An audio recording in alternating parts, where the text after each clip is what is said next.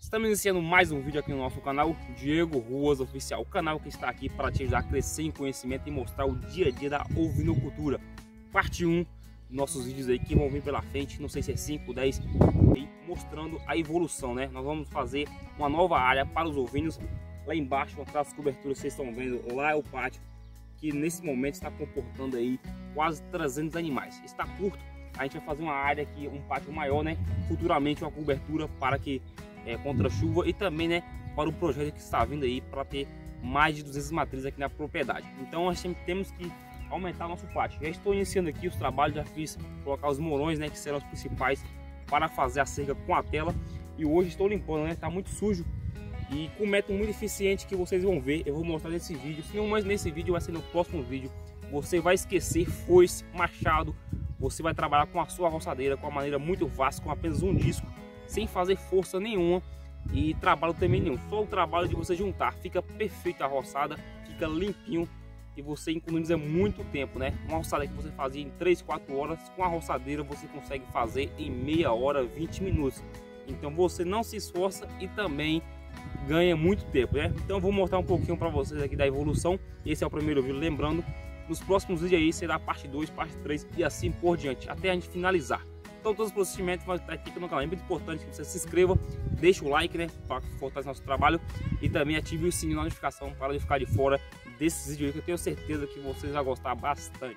Pois bem, vocês estão vendo aqui, aqui será a cerca do final, né, que comportará. Aqui a outra cerca que vai aumentar também essa parte de cá e para cá.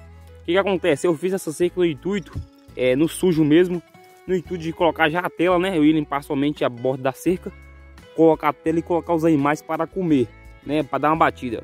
Mas como eu não gosto de trabalhar dessa forma, né? A forma que atrapalha muito o trabalho aí, não tem como nem tá vendo a evolução do trabalho. Eu vou, já vou limpar tudinho, né? Deixar tudo limpo aí. E quando for fazer os vídeos vai ter até melhor para nós aí para estar tá gravando também. Então, repare bem na no espaço né, que será aí para os ovinos. Um pátio que é nivado, né? É, não tem muita declinação e que será comportado para os animais futuramente nova cobertura. Por que estamos fazendo isso? Para ganhar esse espaço, né? Que esse espaço já está no projeto para fazer isso.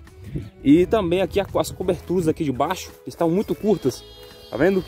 Está muito curta essa cobertura, tanto lá como cá, então o pátio está ficando muito curto para os animais, principalmente as paridas. Então esse pátio aqui aumentará um, um pouco para cá e lá também aumentar um pouco para cá. Então vai ter um pátio sozinho para cima aqui também. Então vamos descer mais um pouquinho para estar tá mostrando a vocês também aqui embaixo.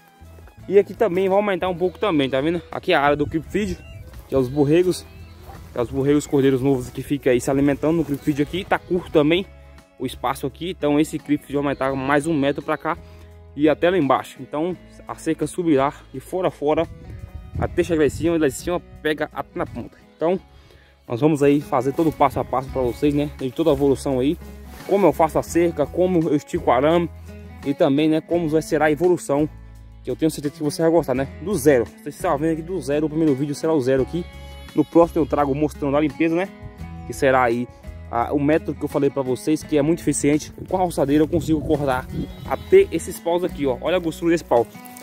Ó, tá vendo? Consigo cortar com até essa espessura aqui, tranquilamente consigo cortar. Vou limpar tudinho, já estou iniciando o trabalho e vou mostrar um pouquinho para vocês como está é, o começo, né? Para vocês verem que, tem, que dá certo. E o método que você gasta muito pouco gasolina também. A roçadeira que eu utilizo é uma roçadeira Roscorna, a gasolina. Vou gastar mais ou menos um litro para fazer toda essa área aqui, então o custo é mínimo, né? E você trabalha muito pouco. Essa área, se fosse na força, gastar quase meio dia. Na alçadeira eu vou gastar uma meia hora, uma hora no máximo. E aí, ó, tá vendo? Eu ia fazer dessa forma aqui, ó. Tava limpando somente as bordas da seca, mas aí ficou um trabalho assim, meio laboar, né? E aqui está, ó. Olha pra vocês verem. Aqui eu tô iniciando o trabalho a roçadeira. Aqui está o, o aparato. Aqui eu já iniciei, tá vendo? Olha lá um monte. Olha também a espessura que corta. Olha o tamanho dos paus, né? Que a roçadeira consegue cortar. Olha, e corta perfeitamente, ó, não tem problema nenhum. Posso cortar mais baixo ou mais alto. Corta um pouco mais alto para não pegar no chão. E olha a gostura do mato, ó. Então tá ficando pronto. Aí é só o trabalho que você tem, é só tirar o mato daqui, né? Arrastar com o rastelo com a mão mesmo e fazer um monte e colocar o fogo. Então repito novamente, quem quiser acompanhar esses vídeos, só deixar o like, se inscrever aqui no canal. ativar o sininho e compartilhar essa mensagem para outros produtores estar conhecendo o nosso trabalho. Forte abraço, não perca os próximos vídeos.